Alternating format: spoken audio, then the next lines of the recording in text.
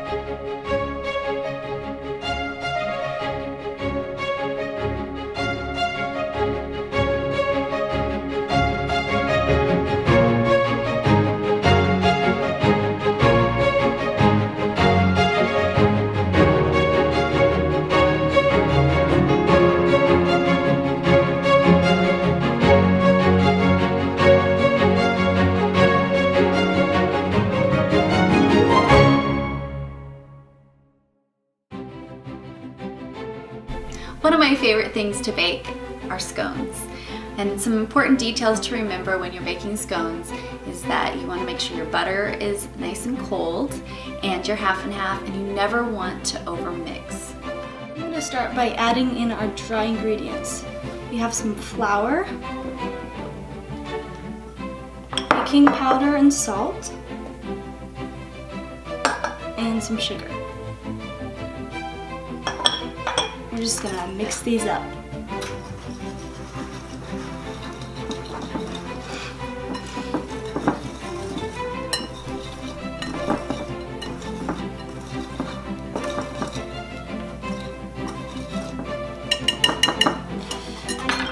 Now it's time to add the butter, which we have in the refrigerator to keep it nice and cold.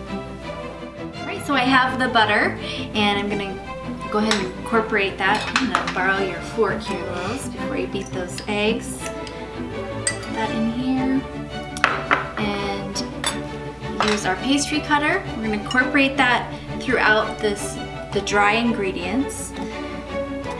And we're gonna do this until the butter is in little pea-sized shaped uh,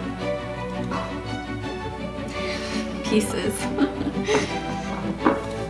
I'm gonna crack these eggs. So it takes a little time, but it's well worth the effort. Uh, when to do it fairly quickly, so the butter stays nice and cold.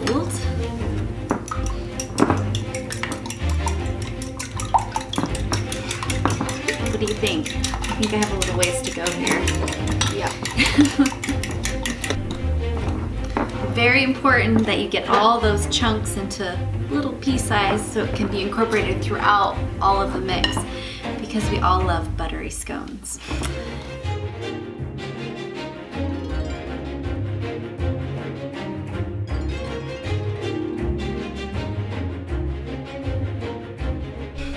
All right, I think we have it just right. Now if it, for some reason, it's the beginning, you know, the first time you've done this or you have a hectic day or something like that, um, some distractions, and you feel like, oh, the butter's not quite cold enough, you can throw it in the fridge and let it cool down before you add the wet ingredients. All right, so now it is time to add a little bit of our wet ingredients here. Got our eggs all beat up and add those in there. Now I like to use a fork.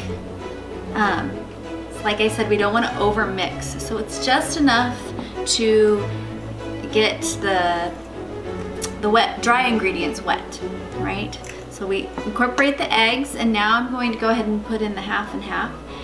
And I'm gonna put a little bit at a time because like I said, we just want it to be wet. Thanks. All right, so now this is the fun part where we get to add chocolate chips. And these are our blueberries that we picked this fall.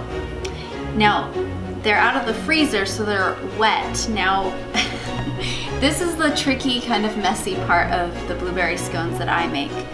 Um, a lot of people use dry fruit and then you don't have the mess, but I just love the taste of uh, fall. Yeah, so I risk it all here. I'm gonna have blue hands after this.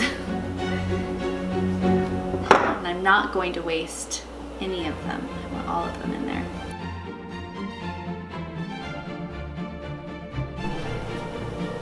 All right, it's time to shape our dough into some scones. Now I'm gonna be really gentle with this because I don't want my scone to be all purple. So we want the splash of blueberries throughout. It is a really tough to know exactly how much moisture you want in these. Now I've doubled the recipe. So I'm shaping these into triangles. Trying not to touch them very much because that takes away from that light, fluffy scone. Right. Ah. like I said, it's very, very messy. Oh, I'm just squishing them. All right.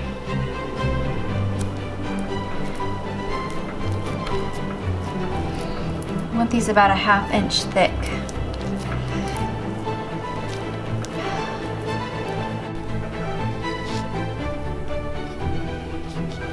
Told you it's messy.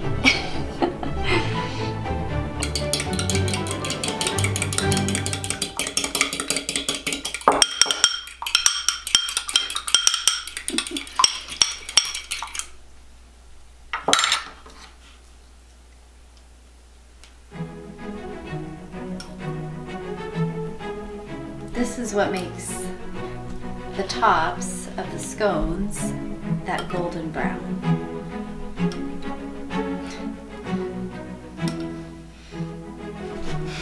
Right now we're gonna slice them into our scone shapes.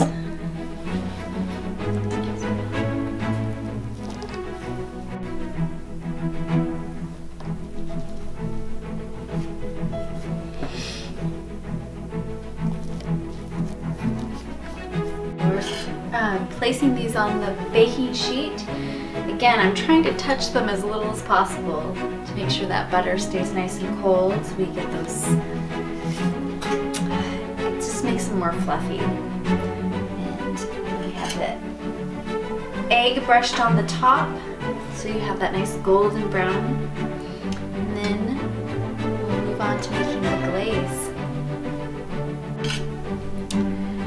We also have the oven at 400. You want to make sure the oven is at temperature when you put these in.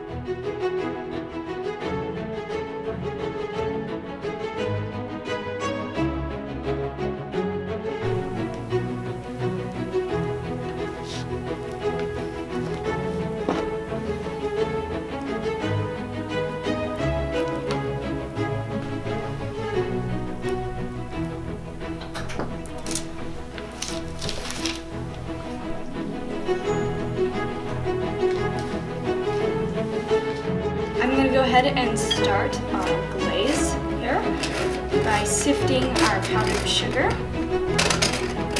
One of your favorite jobs, sifting. It's getting into the air and I taste it. Sugar in the air. All right. Here, I'll take this. And then we're gonna add in our softened butter.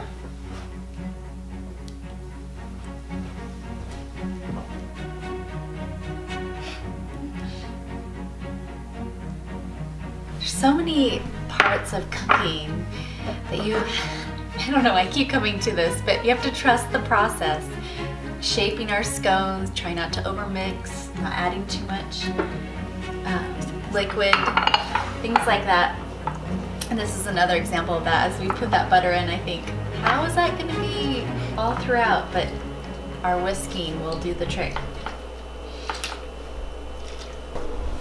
Right, the scones are ready. They're nice and brown on top. The glaze is getting ready.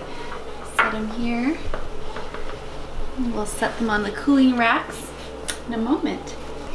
It's time to put our next batch in.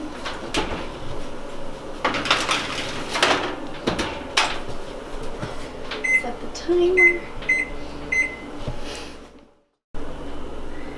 All right, the tops are nice and golden brown.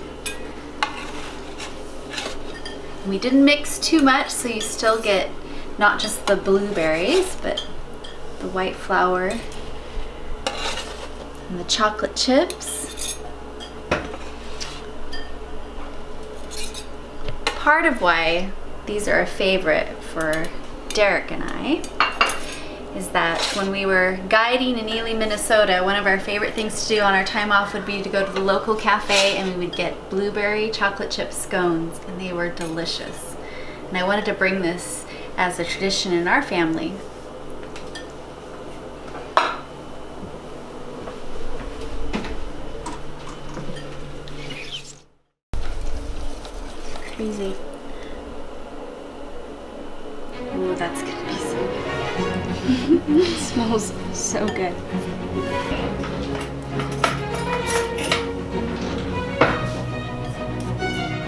All right, it's time for the final step. Besides enjoying our our bake, is putting the glaze on. You just want enough to have that little sweet.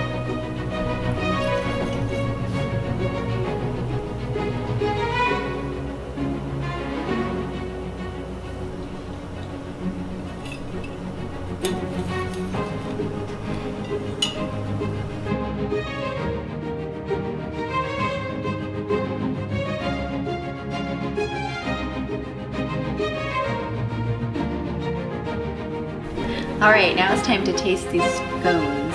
See how they turned out. Oh, All right, looks like they're crispy on the outside. Mm. Very good. The blueberries, chocolate, lemon. yeah, it's chocolatey, and then you get that lemon and blueberry, and it just builds it right back up. It's not too rich. It's kind of light. Perfect with a cup of coffee or some tea. so if you enjoyed watching this bake, make sure to subscribe, press like, and we'd love to hear your comments. And we look forward to baking with you next time.